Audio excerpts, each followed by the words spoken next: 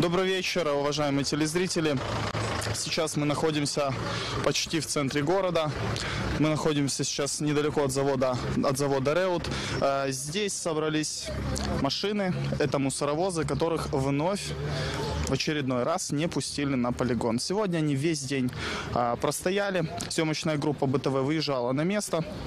Машины по традиции снова приехали, так сказать, поцеловали ворота закрытые и развернулись и простояли там весь день.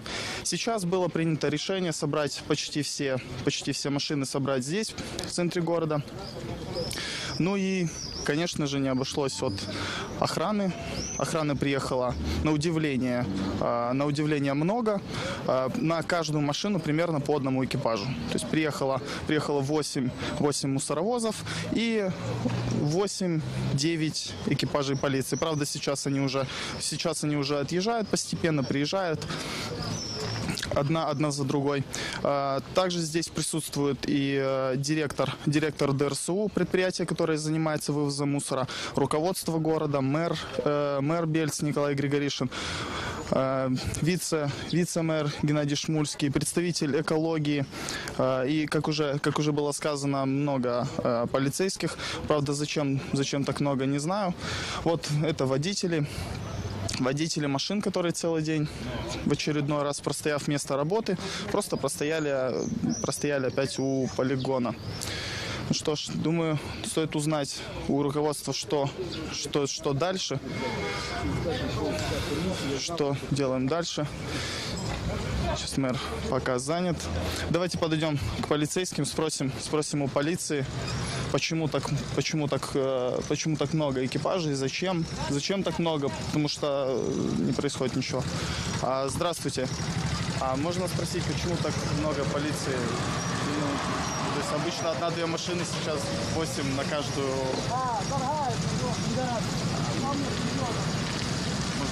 La serviciu di presa, toate. Știi, da? Все, офицеру Да, вот Хорошо, спасибо. Спасибо. Ну что ж, в принципе, в принципе, непонятно, но мы обязательно этот вопрос зададим, а, зададим офицеру, а, пре- пресс-секретарю, пресс-секретарю полиции. А, Сейчас, сейчас спросим у вице-мэра, вице-мэра Геннадия Шмульского, все-таки, что, что происходит. Геннадий, добрый вечер. Геннадий, почему, почему здесь оказались машины? Почему именно здесь? Вы знаете, что сегодня опять э, в 9 часов утра был закрыт в очередной раз полигон. Да, с, с директором ДРСУ связались, э, сказали, что они откроют, когда они перечислят э, 3 миллиона лей. И сегодня 20 единиц техники весь день простояли на въезде в полигон. Их так и не пустили. И если вы помните, в декабре, да, когда правительство приезжало спасать город от мусора, то на этой площади располагался штаб по спасению города от мусора. Поэтому, в принципе, было принято решение приехать сюда и здесь уже, как в штабе, принимать решение, что делать с этим дальше. Геннадий, э, недавно, э, недавно была комиссия э, создана муниципальным советом, на которую был приглашен и представитель Salubrity Solution Дмитрий Руснак. И я был лично на этой комиссии. Насколько я понял, речь шла о том, что полигон не закроется, пока комиссия действует. Сколько известно, комиссия все еще работает, полигон закрыт. Да, комиссия непонятно, работает или нет, потому что сегодня директор Юрий Хмарный пытался связаться с председателем комиссии, с господином Иорданом. Тот трубки не брал, хотя в одних э, кругах говорят, что вроде они что-то решили, там по 92 лея, что платили, хотя непонятно, как комиссия могла вообще принимать такое решение. И он, я так понимаю, сейчас прячется и не хочет брать на себя ответственность, как и многие остальные наши так называемые муниципальные советники. Вот, поэтому вот такая ситуация. К нам присоединился и э, мэр, мэр города Николай Григоришин. Николай, добрый вечер, Николай. Э, Снова, снова вот эта проблема мусорная. Что, что, что делать дальше, Николай, Николай Николаевич? Ну что делать дальше? Тут был штаб у нас, э, когда Павел Филипп объявил, да? Да, в декабре. Вот мы сейчас сделаем здесь опять штаб и будем ждать, когда он приедет сюда и посмотрит. Потому что такое отношение к бельчанам, это непозволительно никому. Пускай это будет руководитель страны.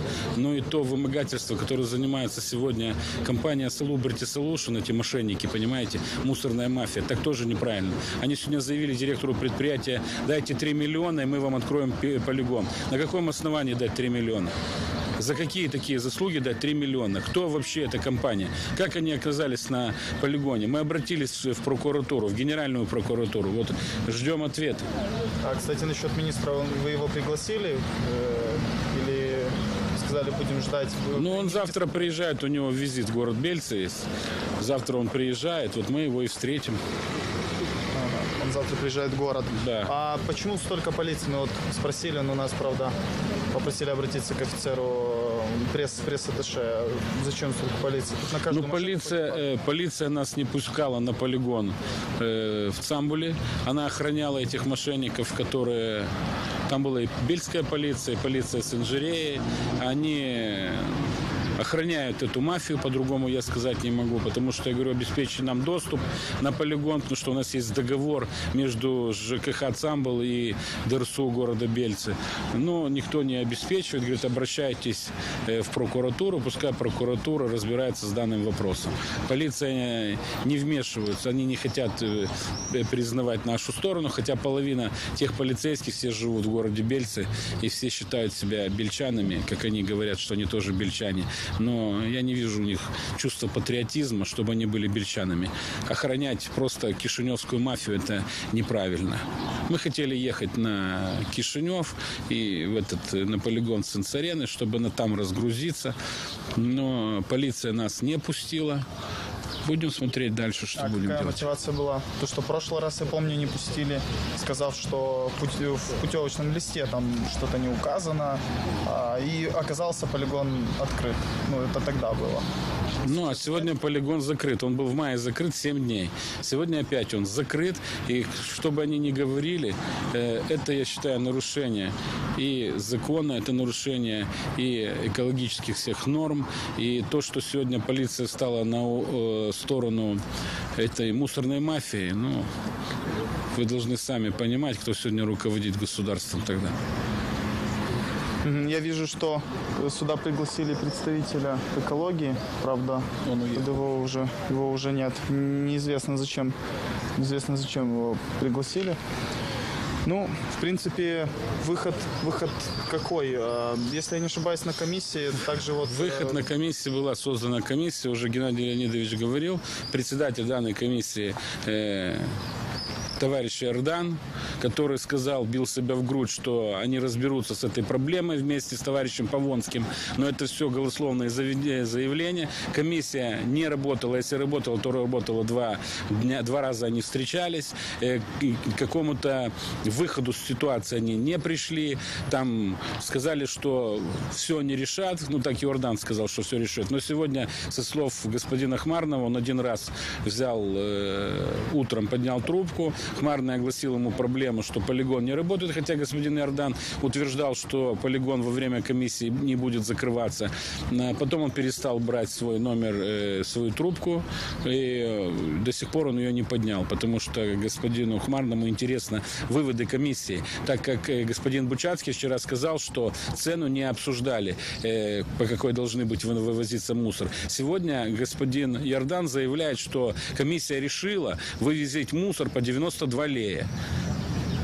Вот мне интересно, эта комиссия решила. они- Да, они сами его подняли. А комиссия имеет На основании. право- Вот я тоже это вопрос уже, знаете, комиссия не имеет права поднимать. совет Конечно. Утвержденный совет была цена вопроса 33 лея. Сегодня комиссия в, лице Иордана и Павонского почему- получается подняла тариф на 92 лея. Вот мы стоим и будем ждать, может, пускай Иордан сюда приедет и объяснит вам, нам, как, комиссия работала и что она делала, какие она функции выполняла, кроме тех политических заявлений, которые они делали до 20 мая. Спасибо большое, Николай Николаевич. Э, Собственно, как, как решится проблема, пока мне неизвестно. Какая будет реакция э, премьер-министра, тоже пока непонятно. Собственно, завтра, завтра все прояснится. Э, у машин, у машин с охраной никакой, никакой проблемы, э, никакой проблемы, я думаю, не будет. Центр города, на каждую машину по одному экипажу, экипажу полиции. Я думаю, что все они в целости и сохранности дождутся завтрашнего дня, чтобы встретить здесь премьер, премьер-министра. И я думаю, что, быть может, дело как-то сдвинется все-таки с мертвой точки. Потому что, если помните, а, в декабре, когда к нам приезжал, эм, э, приезжал лично